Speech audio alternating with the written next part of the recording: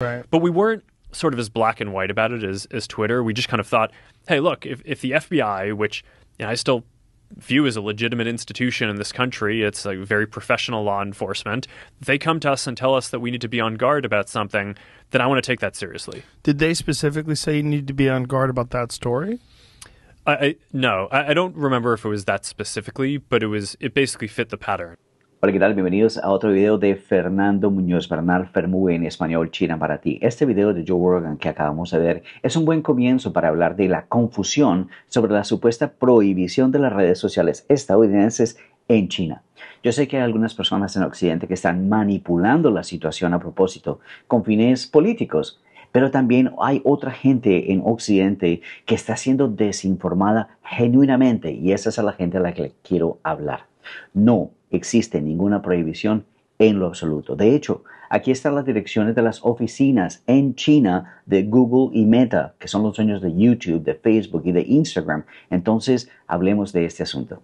Hola, ¿qué tal? Bienvenidos a otro video de China para ti, Fernando Muñoz Bernal, Fermube en español. Comenzamos este video con esta verdad. No hay ninguna ley en China que prohíba las redes sociales estadounidenses o extranjeras o cualquier otra empresa de Internet en China, así sea por nombre o por país. Todas las regulaciones de Internet se aplican por igual a todas las empresas que operen en China, ya sean de propiedad china o extranjera. Simplemente no hay diferencia. Las regulaciones de Internet de China no son muy complicadas, en serio, al menos en la superficie, pero sí hay algún espacio para confusión. Entonces hablemos de cuáles son estas regulaciones. Número uno, ellas requieren que todas las empresas de Internet que operan en China deben alojar sus servidores en China y deben mantener todos los datos de los usuarios chinos dentro del país. Si Twitter y Facebook quisieran operar en China, tendrían que alojar los servidores de China aquí en el país y mantener los datos chinos en China. ¿Significa que no podría vender sus datos? Oh, pero eso es imposible de hacer, Fernando. No, lo imposible no existe. Hablemos de TikTok, que lo está haciendo ahora en los Estados Unidos para los Estados Unidos de forma voluntaria. Es el infame proyecto Texas. Eso, como lo ves, sí es posible. Número dos, en estas regulaciones, todas las empresas, por supuesto, tienen que cooperar con las fuerzas del orden chino. Esto es muy fácil de aplicar cuando se cumple con el punto 1, pero Twitter y Facebook específicamente se han negado a hacerlo en el pasado. De hecho, se negaron a cooperar cuando la policía china les pidió a ellos, después de unos ataques terroristas en China en el 2009 en Xinjiang, y les mostraron pruebas de que los terroristas habían usado sus plataformas para planear y ejecutar estos ataques. Twitter y Facebook se negaron a cooperar no se niegan a cooperar con las fuerzas del orden estadounidense o las europeas, como vimos en el video de Joe Rogan, ¿no? Entonces, ¿por qué China es especial? Especialmente en un caso que involucra terrorismo.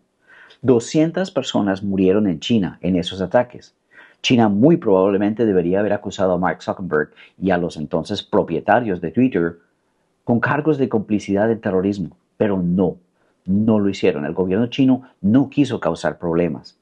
Cooperar con China no podría revivir a las víctimas, obviamente, pero sería un gesto simbólico a futuro. Pero Twitter y Facebook decidieron no hacerlo.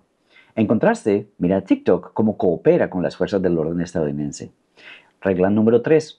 China, al igual que el Reino Unido, Alemania, Turquía y muchos otros países, tienen ciertas leyes de contenido. Por ejemplo, toda la pornografía es ilegal en China. No es una opción para las empresas de incluirlas en sus términos de servicio, como sucede en X o en Twitter, por ejemplo. Alojar pornografía en China es un delito penal.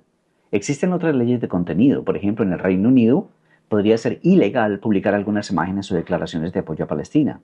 China tiene su propio conjunto de reglas al respecto, por lo tanto, también se debe cumplir con estas leyes.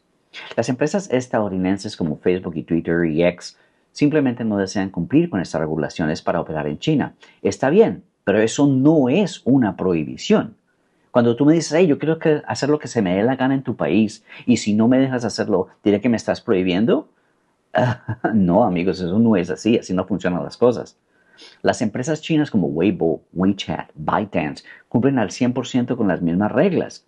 De hecho, Es parte de la razón por la que ByteDance ha creado dos aplicaciones separadas, una, una para China que se llama Douyin y otra TikTok para el resto del mundo. El gran firewall del que se habla tanto en Occidente es simplemente una herramienta de control. Piensa por un momento, ¿de qué servirían todas esas regulaciones si alguna empresa china pudiese ir y alojar su sitio web y tener oficinas en Australia, por ejemplo, y así lograr eludir todas esas regulaciones? No funcionaría. ¿Por qué es tan difícil de entender esto? De hecho, el Grand Firewall es solo un muro fronterizo. Bloquea los sitios web que se niegan a cumplir, obligándolos a cumplir con las regulaciones locales o a no estar en el mercado chino. Simple. Estas empresas pueden optar por ingresar al mercado chino en cualquier momento. Eso se llama simplemente soberanía digital. Yo entiendo las preocupaciones que tienen los eh, americanos, algunas de las personas en los Estados Unidos sobre los datos estadounidenses, la privacidad, etc. Pero entonces, hagan leyes al respecto. Hagan leyes sobre cualquier cosa que quieran. ¿No les gusta el algoritmo? Ok, hagan leyes sobre el algoritmo. Lo principal es que la ley se aplique a todos, incluidas las empresas estadounidenses. Yo creo que TikTok estará feliz de cumplir. Hey, una pista. Ellos ya lo han hecho todo, todo lo que les exige la ley, e incluso más. No hagan leyes que digan no permitimos chinos. Es decir, están en su derecho de hacerlo y lo están haciendo, pero entonces no se llamen a sí mismos un país de leyes y partidarios del libre comercio. Eso es mero racismo, discriminación y proteccionismo. Bueno amigos, eso es todo por hoy. Muchas gracias por ver este video y ya saben qué hacer. Si les gusta, denle un clic, denle un like, compártanlo y dejen sus comentarios en el video. Y bueno, si quieren eh, saber más de China, asegúrense de suscribirse al canal y darle clic a la campanita para recibir un email cada vez que haya un nuevo video. Y hasta que nos veamos nuevamente, chao, chao.